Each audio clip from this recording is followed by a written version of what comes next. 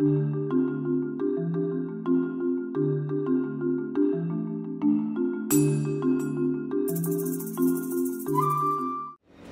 hedder Mette. og jeg hedder Louise.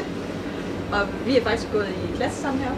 Ja. Så øh, vi startede i 96 og kendte ikke hinanden inden.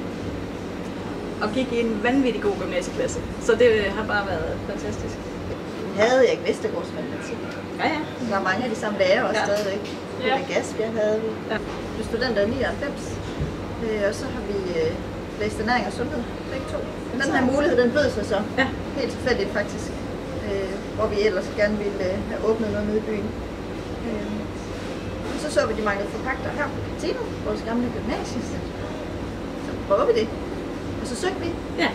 Øh, og så fremlagde vi faktisk lidt, øh, vi vil lave det her mad. Så hvis I kunne tænke os at have det mad ind på skolen, så vil vi gerne lave mad. Det ville de jo heldigvis gerne.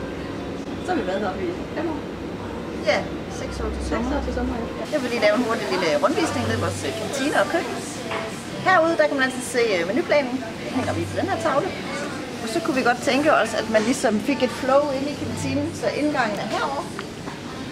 Så er tanken, at man bliver præsenteret for både bagværk og salatbar og dagens ret. Og øh, vores udvalg kan se herovre. Priser. Og dagens menu kan man altid læse herovre og finde herovre. Vi laver også to salater til hver dag, som ligesom passer til dagens menu. Og den, ser lidt, øh, den kan man finde inde i salatbar.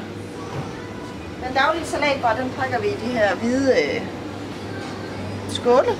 Når der så dagens salater er færdige, så kommer de til at stå herhenne i sådan nogle lidt anderledes fade. De kan være øh, grønne og røde, og de ser sådan lidt, de skiller sig lidt ud. Så det er altså den salat, vi laver, eller de salater, der vi laver, som passer til dagens ret. Så har vi selvfølgelig vores sandwich, hvor vi selv bager brødet og selv laver alt fyldet med, og så tanken er, at flowet ligesom kørt rundt her. Og til kasserne, når vi har rigtig travlt, så prøver vi at have to åbne kasser. Og drikkevarer og frugt, hvis man nu øh, kunne overtage til at købe noget frugt i stedet for noget slik. Herude er så øh, køkkenet, så her vi laver mad. Det varme mad laver vi herovre. Vi har ikke noget komfur, så vi laver al maden i vores ovne. Øh, vi har så sådan en rigtig smart ovn, hvor vi kan koge i. Så ris og øh, pasta og hvad vi tænker, at jeg skal have kogt, det gør vi ind i ovnen.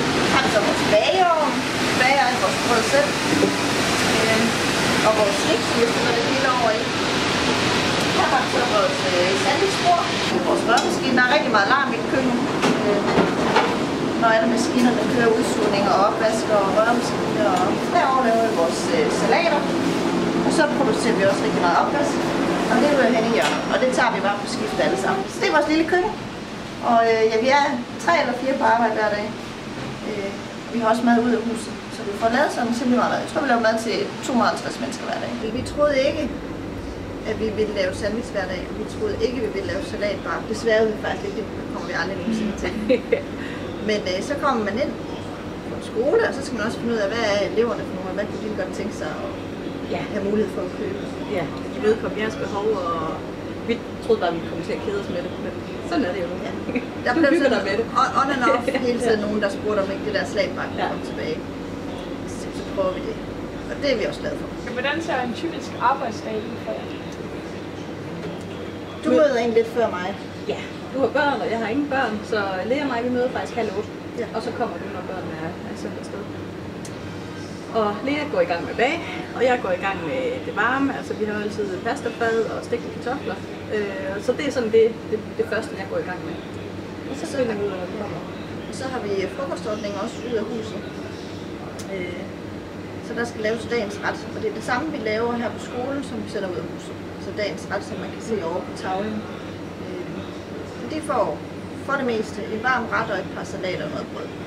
Øh, så det skal vi lave til både ud af huset og her på skolen.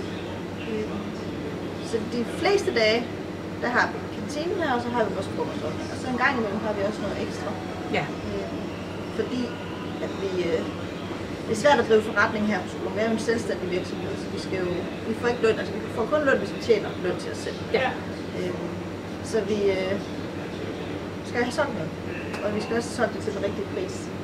Øh, så Så vi får et, et driftstilskud for at holde priserne nede her i kantinen. Selvom der er mange, der synes, det er dyrt, så er det, hvis man sammenligner med byen, så har vi jo samme vilkår, som de har nede i byen. Så vi får faktisk et løntilskud for at holde priserne nede her. Fra Øh, skolen? Fra skolen, ja. Så det kan løbe rundt. Så, så for at det, og det går stadigvæk lidt i minus alligevel. Så for at vi kan få det til at løbe helt rundt, øh, så har vi også ekstra af huset ud over vores frokostordning. På torsdag for eksempel, der har vi en reception, åben bog, der skal leveres, 120 mand, der skal have mad. Og så har øh, Symfoniorkestret bestilt øh, lidt over 200 sandwich, så vi skal bruge aften.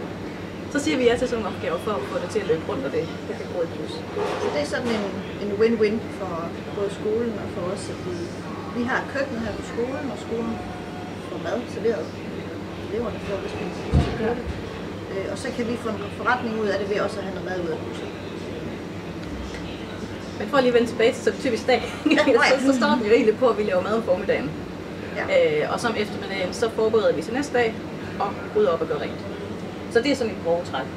Så vi er tre på arbejde til at lave mad, og så er der også altid et eller andet, der skal tages sig af med varebestilling og øh, møder og hvad der er, planlægning og alt sådan noget. Ja.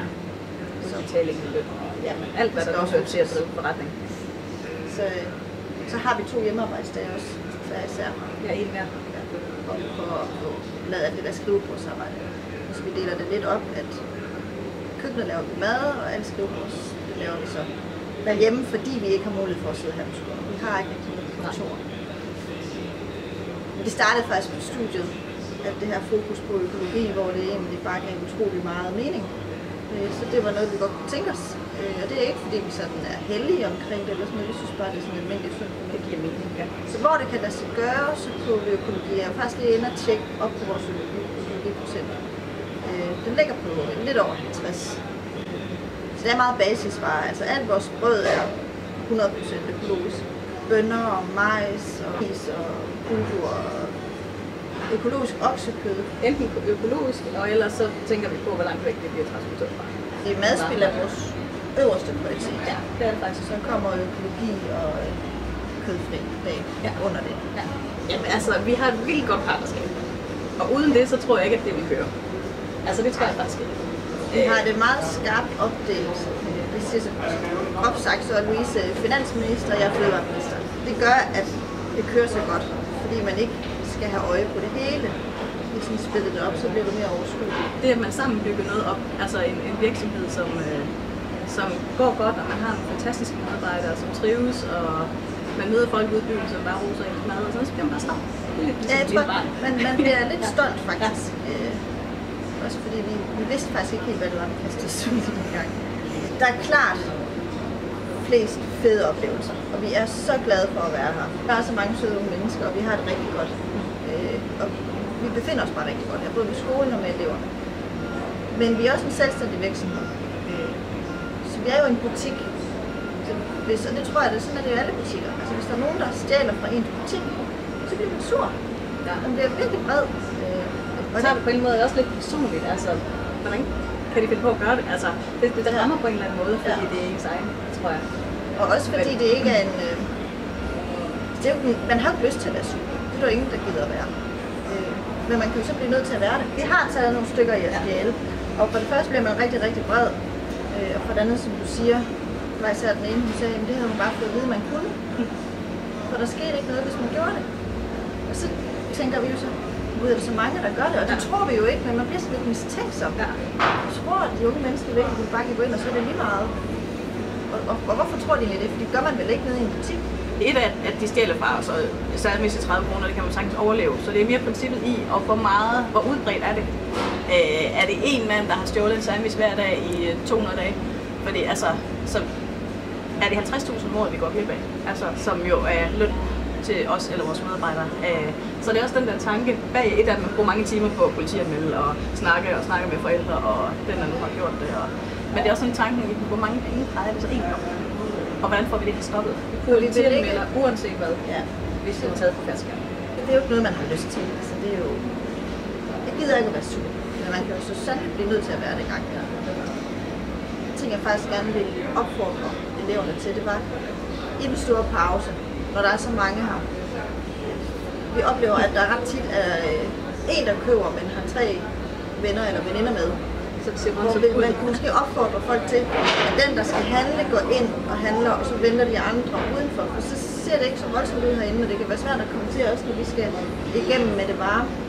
Så det kunne jeg faktisk godt tænke mig at Mm. mm. til, at man Ja. ventede udenfor. siger gavekort. Så hvis man lige mangler en lille 50 at give til en eller anden fest eller eftergave eller et eller andet, så kan man købe gavekort hernede til. Øh, har du noget mad med hjemmefra, og de vil supplere lidt med bare noget salat, så øh, der er også mange, der gør det, men det kan være, der er nogen, der tænker, at øh, ah, det var underligt. Bare kom ind og så køb 8 kroner salat bare, det er fint. Ja. Øh, og er der noget, ah, det ser lidt spændende ud, men jeg er ikke sikker på, at jeg kan lide det, så bare køb lidt af det. Øh, se om det var noget. Vi kunne godt tænke os, og vi kunne faktisk godt tænke os at sælge lidt mere af det varme mad, end vi gør. Faktisk ret gode til at lave varm mad. øh, og jeg tror, vi laver, vi laver så meget forskelligt, at man en gang imellem må støde på noget, man ikke har prøvet før. Så har man lyst til at smage noget, man ikke har prøvet før, så prøv det bare. Det kan være sådan, Det smager ret godt. Okay. Vi er på Instagram, men jo også på Facebook, hvor vi lægger alle vores menuer ud. Øh, og hvor man også kan skrive til os, hvis der er noget. Ja.